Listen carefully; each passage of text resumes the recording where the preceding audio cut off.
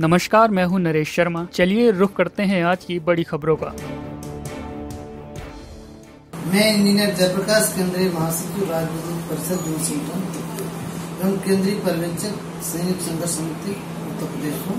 यहाँ जो बैठक हो रही बिल्कुल स्पष्ट है कि ये पूरे उत्तर प्रदेश के बिजली क्षेत्र की बेहतरी के लिए और बेहतर उपभोक्ता सेवा देने के लिए जो व्यवहारिक कार्यों में कठिनाइयाँ आ रही हैं, या बेहतर उपभोक्ता सेवा में हमारे लोगों को जो ज्ञानवर्धन किया जाना, उनको संतुलित दिलाया जाना चाहती बिजली के क्षेत्र में ट्रांसफार्मर डैमेज को रेट को कम किया जाना, तथा इस व्यवस्था को चलाने के लिए धन की आवश्यकता होती है तो राजस्व वसूली बेहतर कैसे किया जाए, इन्हीं तीन बिंदुओं को लेकर के आज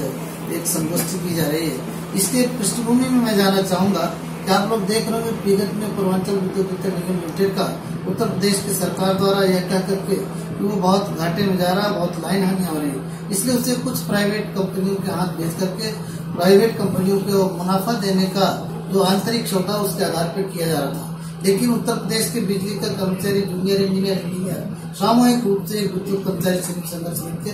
प्लेटफॉर्म पर एक विरोध करने का काम किया और यह कहा कि यह विभाग हमारा है इस विभाग में जो संसाधनों की बहुत कमी की वजह से या नीतियों की कमी की वजह से जो घाटा हो रहा है, उसकी ज़िम्मेदारी सीधे कर्मचारियों को पड़ा जाना और विभाग को भेज करके कहीं न कहीं निजी संस्थाएँ तो बिजली मानी होंगी, इसको लेकर हमने संघर्ष छत्तीस दिन तक किया। और छत्तीस दिन के बाद छह तारीख को उत्तर प्रदेश के जो वित्त मंत्री माननीय सुरेश खन्ना जी, माननीय ऊर्जा मंत्री जी, एवं बिजली बोर्ड के चेयरमैन के साथ मुख्य सचिव के साथ संघर्ष समिति की एक मैराथन बैठक। मैराथन बैठक में आपके साथ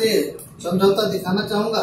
लगभग तीन घंटे बाद हमारी ये निर्णय हुआ। उत्तर प्रदेश के सरकार ने और बिजली बोर्ड ने माना ये निजीकरण की कार्रवाई चल रही थी पूर्वांचल में। इसको आपके इस गतिरोध के कारण या आपके सकारात्मक जो चर्चा के बाद हमने इसको तत्काल वापस लिया है। और इतना ही नहीं कहा उन्होंने यह भी कहा कि उत्तर प्रदेश ऊर्जा क्षेत्र में कहीं भी कोई निजीकरण की कार्रवाई नहीं की जाएगी। भविष्य में सुधार इत्यादि को लेकर अगर कोई परिवर्तन की आवश्यकता होगी